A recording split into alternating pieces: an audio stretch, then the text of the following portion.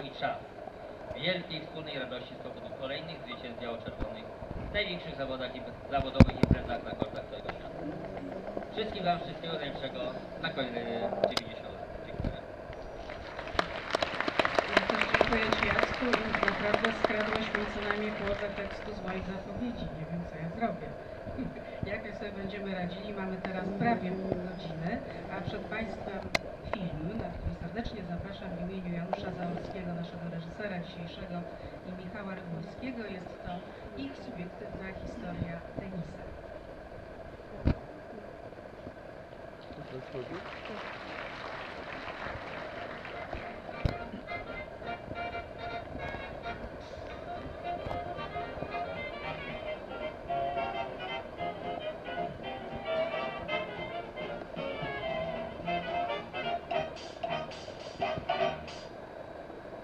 Zapraszam na krótką historię polskiego tenisa. W kilkadziesiąt minut nie da opowiedzieć się wszystkiego, można jedynie wyciąć fragmenty pewnych epok, pokazać klimat czasów i przedstawić kilka epizodów z życia największych gwiazd.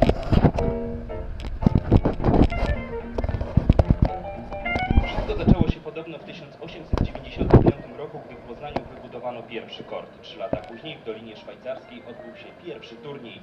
Pod zaborami powstawały pierwsze sekcje, a następnie kluby tenisowe. Po odzyskaniu niepodległości 21 sierpnia 1921 roku w Poznaniu założono Polski Związek Tenisowy. Pierwszym prezesem wybrano Zdzisława Szulca. Jeszcze w tym samym roku Vera Richter i Edward Kleinagel zostali pierwszymi mistrzami Polski.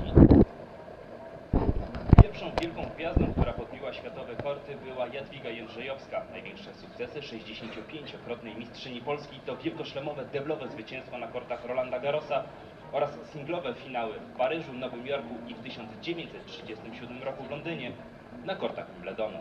I znów na korcie Jadwiga Jędrzejowska. Czeszka Dworzaczkowa zaskoczyła naszą wielokrotną mistrzynię nagłym atakiem. Jędrzejowska próbuje się bronić. Podciąga nawet pierwszy set do wyniku 5-7. Ale w drugim nie starcza już jej sił. Dworzaczkowa wygrywa gładko, zajmując pierwsze miejsce wśród pań.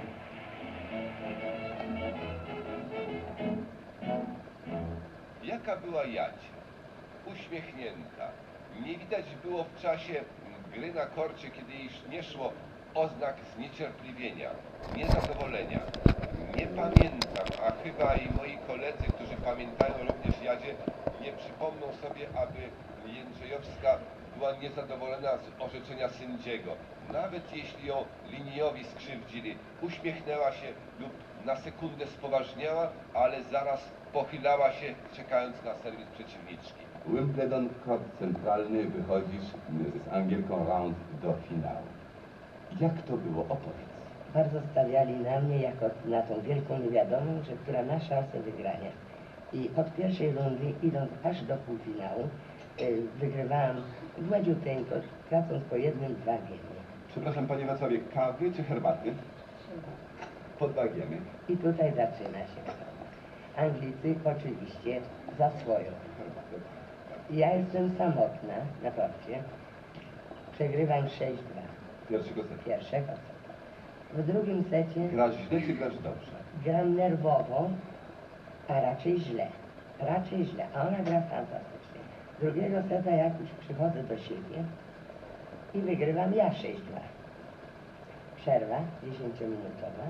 Idziemy do szatni, prawda? No każda w swój kącik. Wchodzimy na trzeci set. Cisza niesłychana. Gram jak, no jak w Transie. transie. 4-2 i 30. Czy szansa uciec na 5-2? No oczywiście y, myśli głupie przychodzą wtedy człowiekowi, że można zdobyć mistrzostwo świata i tak dalej.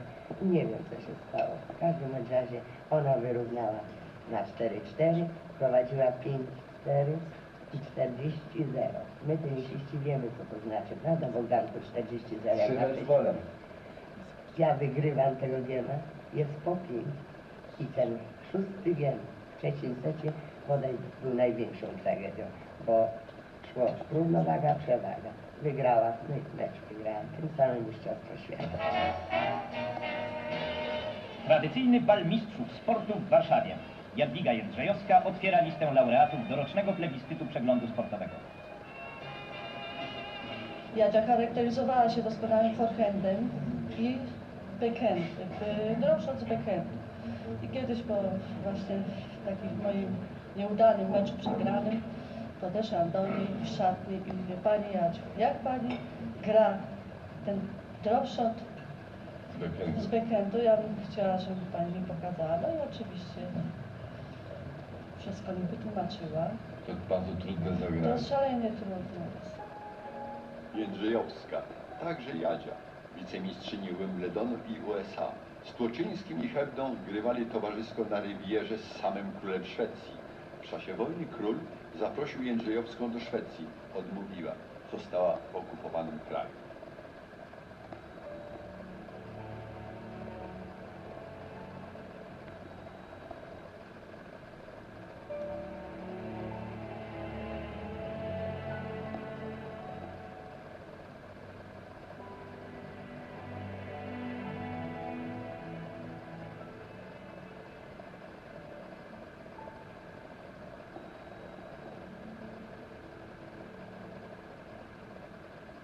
Maju 1925 roku na kortach Agricoli polscy tenisiści rozegrali pierwszy mecz w Pucharze Davisa. Przegrali wówczas Anglią 0-5. Pięć lat później odnieśli pierwsze zwycięstwo. Dramatycznych okolicznościach pokonali Rumunię 3-2, głównie dzięki wspaniałej postawie Ignacego Płaczyńskiego.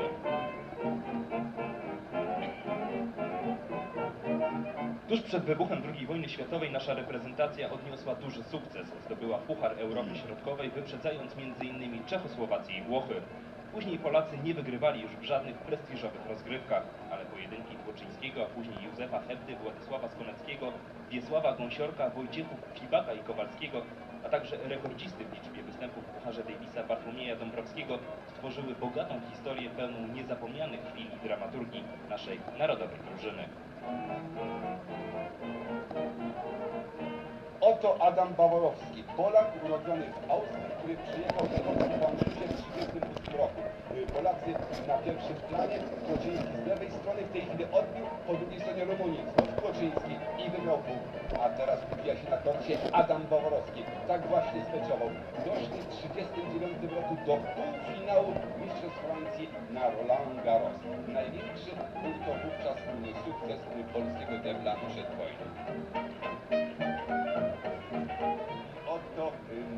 Hebda, bardzo ciężka walka. Już tu, już nie był młodym graczem, ale doping publiczności, y, y, uczucie, że znów broni barw Polski w Pucharze Davisa po koszmarze wojennym, no, dodało skrzydeł Juśkowi i wygrał y, po zażartej walce z Bartonem w pięciu setach.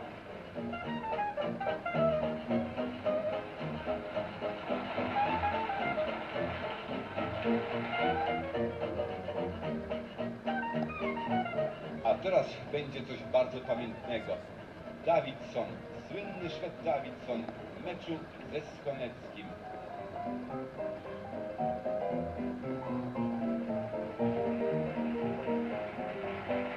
Davidson kilkakrotnie był w finałach w Wimbledonie w grach podwójnych. Ścisła czołówka światowa. I przegrał po przeszło trzygodzinnej pięciosetowej walce.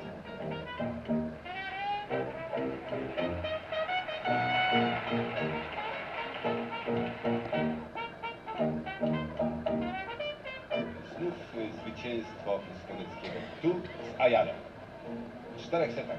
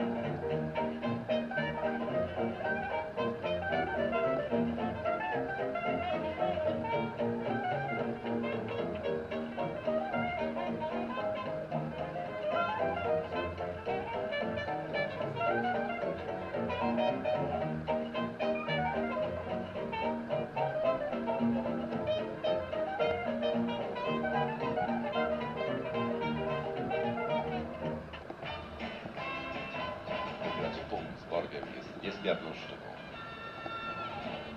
Będzie atak Polaka?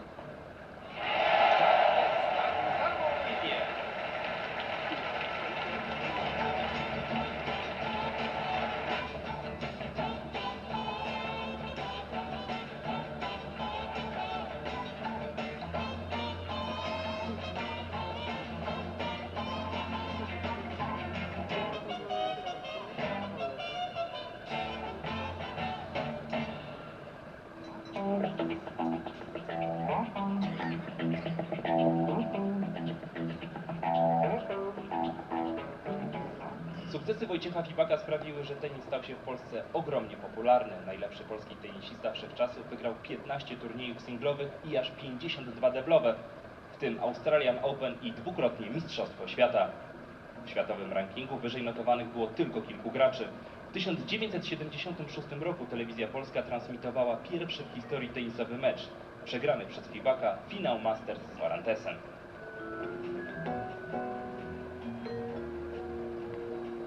Mecz stał na wspaniałym poziomie, zaś początkowo ton wydarzeniom nadawał Fibak. Prowadząc 2 do 1 w setach i 4 do 1 w partii czwartej, Polak niespodziewanie stracił rytm i skuteczność. Zdaniem wielu przesądziła taka oto rozmowa reportera amerykańskiej telewizji, dobrze słyszana przez całą salę i przez odpoczywających graczy. First, could we have your name, sir? My name is Chris Douglas. And your prediction? Czy pochwały Kirka Douglasa i jego typowanie na zwycięzcę meczu właśnie Fibaka przeszkodziło naszemu zawodnikowi? Trudno dziś orzec z całą stanowczością. Jedno jest pewne, wielka szansa przepadła i już nigdy potem Poznaniak nie był tak blisko wielkiego zwycięstwa.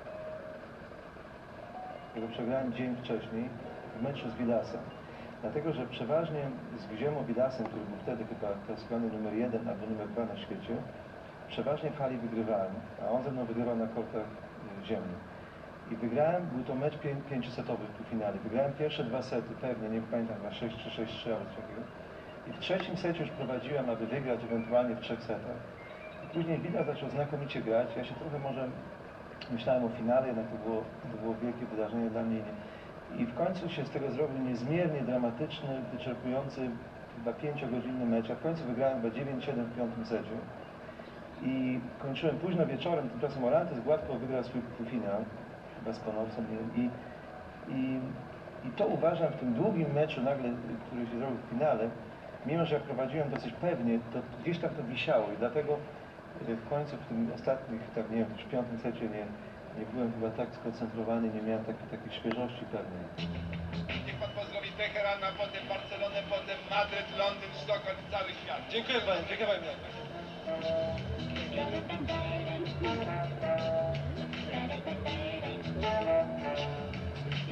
you.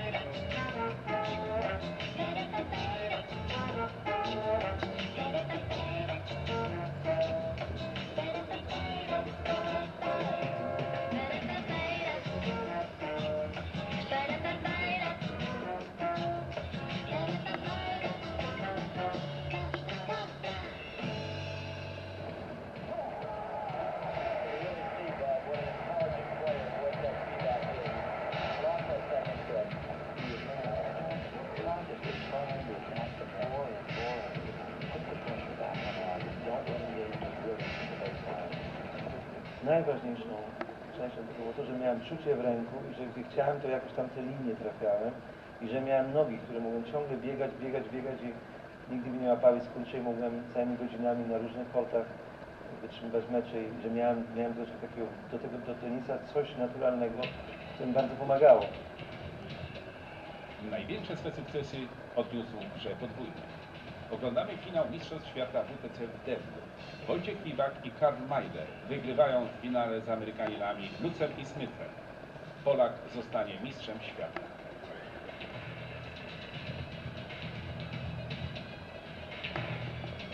W wielkoślemowym turnieju o Mistrzostwo Australii walczy wraz z Kenem Warwickiem pierwsze miejsce. Piwak był urodzonym derbistą. Miał refleks, bezbłędnie lobował, w grze przy siatce potrafił zaskoczyć przeciwników niekonwencjonalnymi zagraniami. Walczyłem na pewno o wolną Polskę. I miałem nadzieję, że kiedyś będzie to kraj tak normalny jak, jak Austria na przykład. Nie, liczyłem na to, że, że, że będziemy od razu w NATO, ale myślałem, że będziemy być może krajem gdzieś neutralnym. i Że, i, I zawsze myślałem, zawsze reprezentowałem najlepiej jak tylko mogłem nas, Polaków.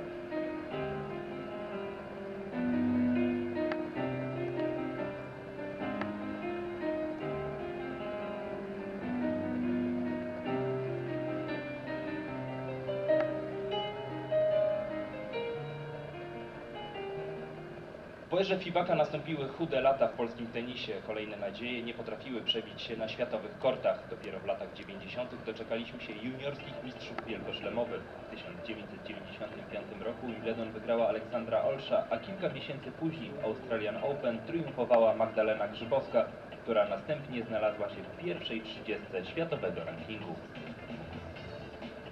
Gdy grałam w turnieju w Chicago, trenowałam wtedy z moją trenerką Iwoną Kurczyńską.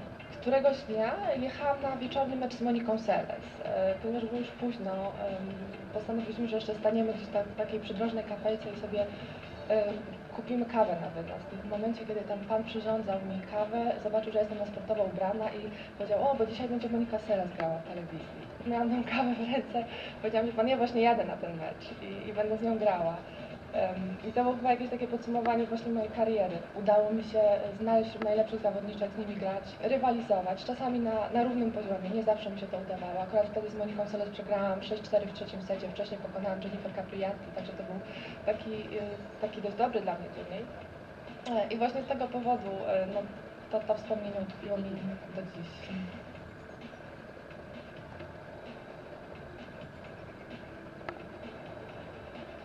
Zdaję sobie sprawę, że rzeczywiście ta moja kariera była bardzo krótka, bo trwała mm, myślę, że około 5 lat. e, Mówię tutaj o karierze zawodowej i to jest rzeczywiście mało. E, Na pewno nie udało mi się osiągnąć tylu, tyle, ile bym chciała i grać tak, jak bym chciała.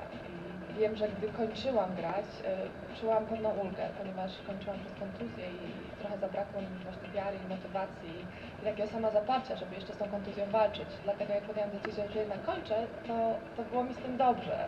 Dopiero po jakimś czasie takie myśli, że, że może wartałoby zagrać dłużej i pograć dłużej i osiągnąć więcej. Może miałabym taką okazję, taką możliwość. E, Zaczęły się takie myśli pojawiać.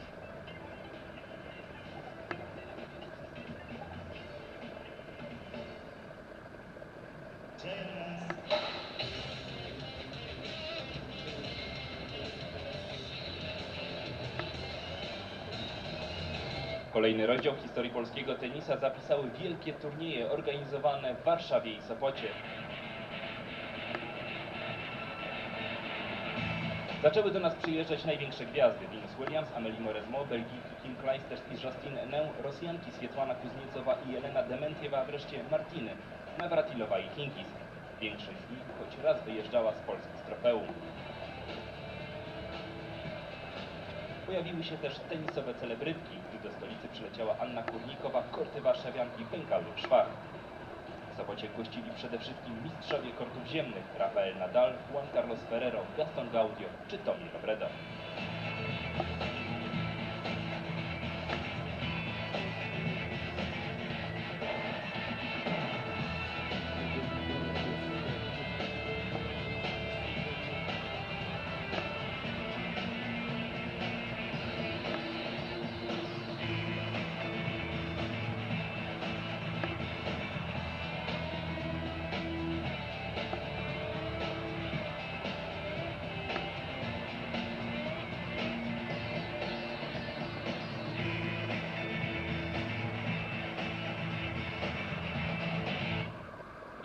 Najwyższej rangi w Polsce już nie ma. Są za to gwiazdy, które w Warszawie i Sopocie odnosiły swoje pierwsze wielkie zwycięstwa. Agnieszka Radwańska, Łukasz Kubot i debliści, Mariusz Fürstenberg i Marcin Matkowski. Radwańska to ósma rakieta świata, która wygrała już 7 turniejów WTA, trzykrotnie grała w Masters. Fürstenberg i Matkowski to czołowa deblowa para świata. Zdobyli już 11 tytułów, a ostatnio grali w finałach wielkoszlemowego US Open i Masters w Londynie.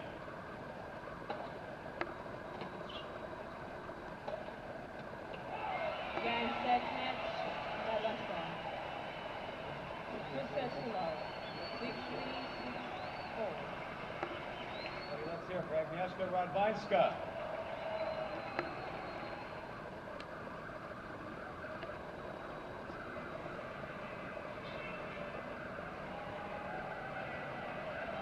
To był mój najlepszy sezon, nie da się ukryć. E, Skończyłam jako ósma zawodniczka na świecie, także e, na pewno mogę to uznać za najlepszy rok.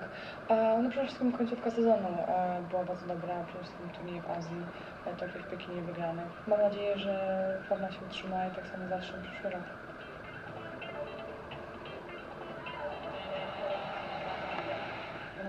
Ogromny talent, dużo większy talent niż, niż miałam ja. Przez pewien czas jeździłam z drużyną Radwańskich na turnieje i miałyśmy okazję grać na punkty. I ona miała taką niesamowitą zdolność właśnie e, znajdywania się tam, gdzie się trzeba znaleźć na korcie. Gdy tylko dochodziło do takich ciut bardziej wyrównanych sytuacji na korcie, to zbierała się w sobie i zdobywała kilka punktów, wygrywała ze mną.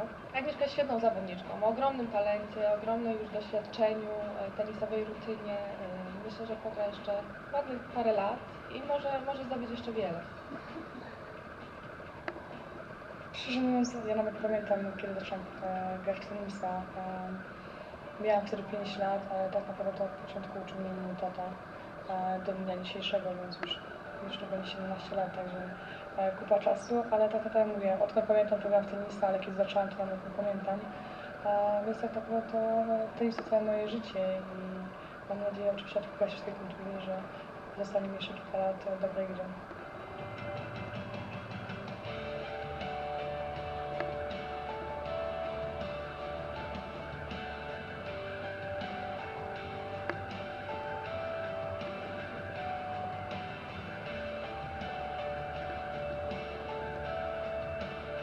Na pewno jest tęsknota, ponieważ e, no jednak czasem na skraju nie ma e, trzy miesiące z rzędu, a jednak dom to jest jednak takie miejsce, do którego na pewno zawsze jest przyjemnie wracać.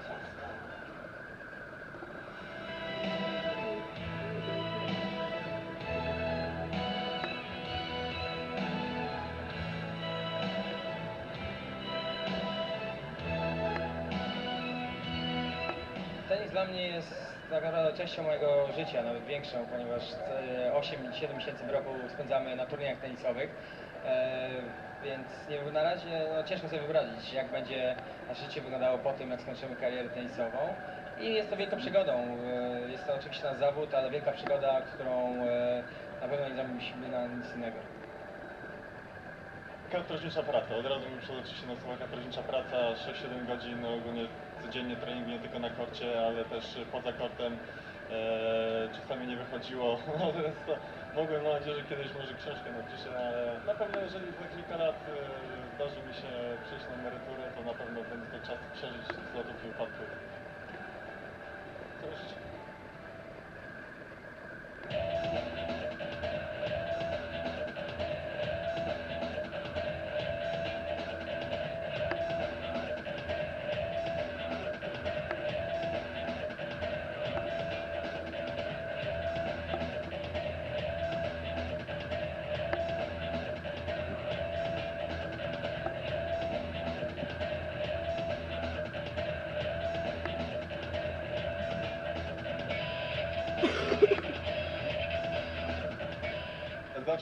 Pierwsza, a drugie jest duża różnica, ale rzeczywiście e, w turniej w Londynie jest to nieoficjalny mistrzostwa świata i bardzo się cieszymy, że końcówkę sezonu mieliśmy tak udaną od, od, od finału US Open aż po Londyn. Co by nie mówić, że w zeszłym sezonie sezon skończyliśmy na czwartym miejscu na świecie, teraz jesteśmy chyba na czwartym, ale, ale ten jest o wiele lepszy moim zdaniem. Otwiera nam nowe drzwi e, i nowe możliwości na wygranie wielkiego szlema, a może coś jeszcze na igrzyskach.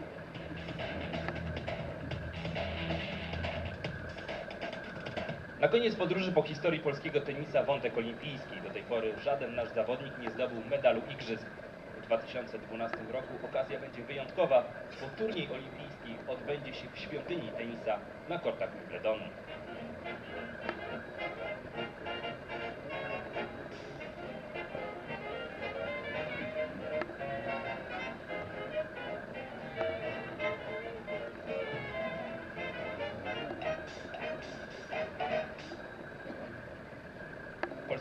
Tenisowy obchodzi swoje 90. urodziny. Czego panu życzę? kontynuacji, jak było więcej jak Agnieszka Radwańska. by y, rozwinął działalność rekreacyjną przy bardziej, aby więcej ludzi w Polsce grało w tenisa dla przyjemności, bo nie wszyscy od razu muszą odnosić takie sukcesy jak Kubo, Twysenberg, Matkowski czy, czy Radwańskie. Ym, Aby to była, bo to może być gra dla przyjemności, dla satysfakcji, dla zdrowia, gra, która wychowuje, bo kluby powinny wychowywać e, młodych, e, odciągać ich od e, różnych takich jak alkohol czy papierosy, czy wyczyhają na każdym kroku. Także jest to piękna gra e, i, i życzę Polskiemu Związkowi Tenisowemu, aby osiągnął sukcesy nie tylko e, w pucharze Davisa czy w pucharze Federacji, ale również na polu e, pop- popularyzacji tenisa u nas w kraju. Przede wszystkim jak to się mówi wszystkiego najlepszego. 90-lecie okrągła rocznica, wiele lat, wiele historii, szczególnie na kortach. E, Czasami te relacje między federacjami sportowymi a zawodnikami są różne, ale uważam, że my mieliśmy to wielkie szczęście, że jest to grupa bardzo zgrana, e, pełnych profesjonalistów, złoci ludzie. E, Uważam, że mamy to szczęście, że właśnie z nimi współpracowaliśmy i współpracujemy dalej i będziemy współpracować. Więc ja tylko życzę im właśnie, żeby kontynuowali tą właśnie ciężką pracą, jaką się wykazują dalej. I na pewno wszyscy zawodnicy szczególnie, a także fani tenisa mogą na tym skorzystać. Jest to przez te kilka ostatnich lat powstało Centrum Tenisa w Sopocie. Robi się wiele dobrego. Turnieje zaczynają powstawać znowu w Polsce.